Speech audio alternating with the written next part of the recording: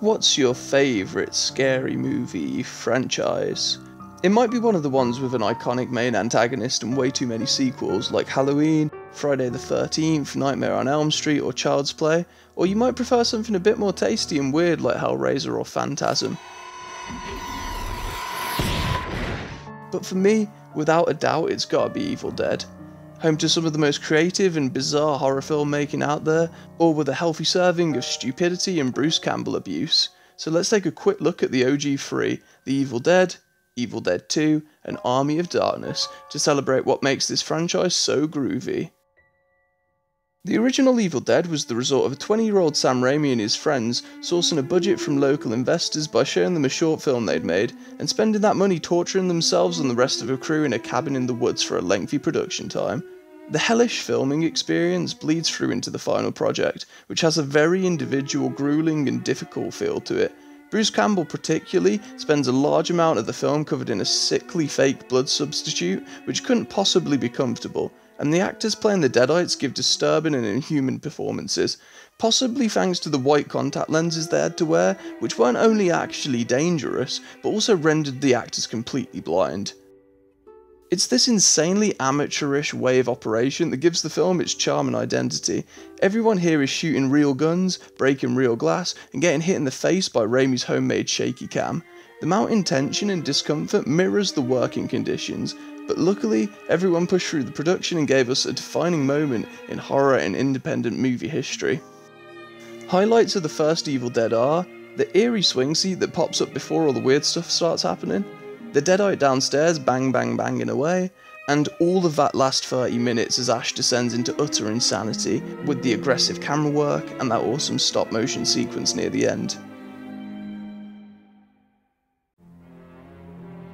From what's been said, it doesn't seem like Raimi was initially interested in making an Evil Dead sequel, but when his second film Crime Wave ended up being a bit of a disaster, a smart career decision was made and he returned to what he knew worked.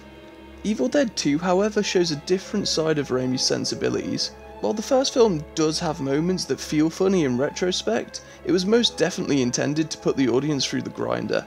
However, the sequel, co-written with Scott Spiegel, is intentional horror comedy at its finest. This works so well in Evil Dead 2 as it manages the balance perfectly.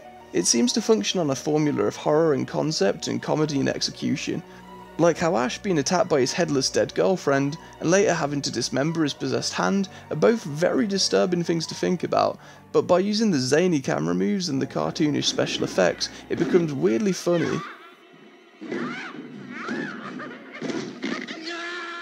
And on top of that, the abuse of Bruce is increased exponentially.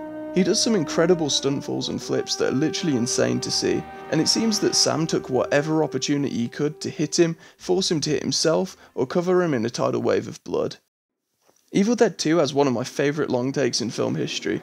It just gets longer and longer and more absurd the more rooms that Bruce crashes through to the point where you just keep laughing and laughing. The second half of the film, where Ash gets company at the cabin, doesn't quite reach the height of the first half's ridiculousness in my opinion, but you've still got to admit that this has one of the best out of nowhere endings ever. With Ash being pulled through time and being hailed as a prophesized hero from the sky by Raimi and Cameo and an army of medieval folk, while he screams no like Darth Vader. Army of Darkness kinda picks up from where Evil Dead 2 left off, but instead this time, there's no flying deadite for Ash to heroically gun down, so he's taken as a prisoner instead. The third iteration has yet another tonal shift as well, pretty much ditching the horror aspect and leaning even more heavily into the Three Stooges slapstick style. In fact, some of the only blood in this film is a comedically large geyser of blood that shoots out of a pit to signal there's a freakish deadite down there. And this time, the deadites are much weaker, Full body dismemberment is no longer necessary, and the few deadites going around go down pretty effortlessly to the chainsaw or the shotgun. While I'm very much more of an Evil Dead 2 enjoyer and that blend of horror comedy, Army of Darkness still works for me. While the Deadites are replaced with a skeleton army for the most part, this climaxes into an awesome siege set piece, and the individual scenes of Ash fighting all the evil shit he encounters are still all fun and memorable.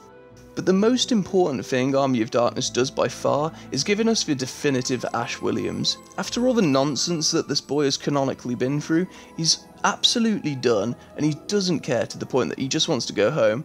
Cocky asshole Ash is the best Ash, and it allows him to double down on the witty and cheesy action hero one liners, despite them clashing with his almost zero brain cells. Good. Bad. I'm the guy with the gun. After that, Evil Dead was stagnant on the movie side for quite a while, until there was eventually a remake or a reboot type sequel thing, or whatever this one counts as. This and the recent Evil Dead Rise both fit into a more serious horror style and kind of feel similar to the original, but with proper production values. That dims the charm a little bit if you like me and like the OG for its low budget scrappiness, but these two are good and deserve love, just this isn't the place they're gonna get it. There is one other major part of the franchise's life though Ash vs. Evil Dead. There's three seasons of this, and somehow every episode is of a consistently high quality, and it often sits somewhere between the tones of Evil Dead 2 and Army of Darkness, which works great, especially as it has the best of both worlds. It has Army of Darkness's Ash, aged up quite a bit but still packing some punchy one liners, and it has Evil Dead 2's score and tone. In fact, some scenes go so far beyond the line that I consider okay that I can assure you that I don't think anyone asked for them. Ash vs Evil Dead should be experienced as blind as possible for all fans, so I'm going to stop talking about it, but it is a perfect revival of the original trilogy. But that's pretty much it about how a bunch of 20 somethings created horror's best franchise, revolutionised indie filmmaking, and made one of the funniest films of all time. Makes you feel a little disheartened, right? Well, it shouldn't. It's meant to be inspirational. All you need is a shotgun, a chainsaw, and a cabin to kill a bunch of people in. Swallow this.